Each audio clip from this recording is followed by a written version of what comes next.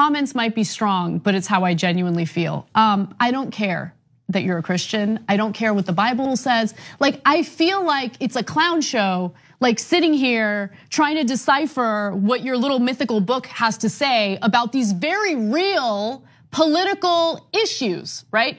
I don't care if you're Christian. In fact, I will fight for you to have your religious liberty and practice your Christianity. I believe in that.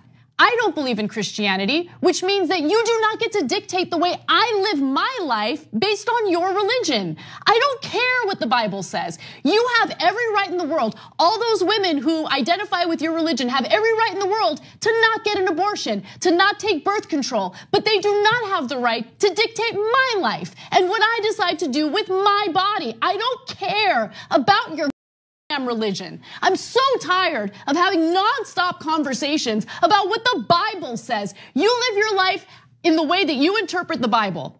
Again, I don't care, but you don't get to take the Bible and tell me, well, the Bible says this in this chapter in this verse. I don't care. I don't care. I don't believe in it. And I have the right, based on our Constitution, to not believe in it. Okay, so you don't believe in the Bible. Where do you get your understanding of rights? You're making a lot of moral judgments, and yet you have no foundation to back up the validity of those moral judgments. You say, my body, my choice, but we know the child in the womb is not just your body. It's not just another organ. It's different. Different feet and fingers, organs, and DNA. This is not your body. You believe that life in the womb isn't valuable or worthy of protection, but according to your worldview, why would life outside of the womb be valuable and worthy of protection? After all, we're just stardust bumping into stardust. It's just survival of the fittest anyway. But you know that's not true. You know life is valuable, and yet you refuse to acknowledge it in the context of the womb to absolve yourself of responsibility. You reject objective morality when you dispose of the Bible and you're just left with what you personally believe.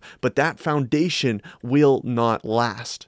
And when you're consistent, it leads you to a very, very dark place. And by the way, the Bible isn't just some mythical made up book. We have numerous, numerous manuscripts from the original text, eyewitness accounts, fulfilled prophecies. It doesn't get any more substantiated than that. Even secular scholars will marvel at the Bible and how robust it is in how it all connects. This isn't just random things that people came up with. This is God's revealed word to us, and it enlightens us to the truth. Jesus said that He is the way, the truth, and the life. And we need to cling to Him for salvation, for truth, for understanding. There's obviously a lot of hostility towards Christians about the issue of pro life, but it's very clear in the Word of God why this is. The world loves death because it is the opposite of Christ. Jesus said that He is the life. So the world will love the darkness and they rejected the light. It's only God that can change our hearts and draw us close to Him. And that's what we should all be praying for, not just fighting with arguments and, you know, oh, this is why,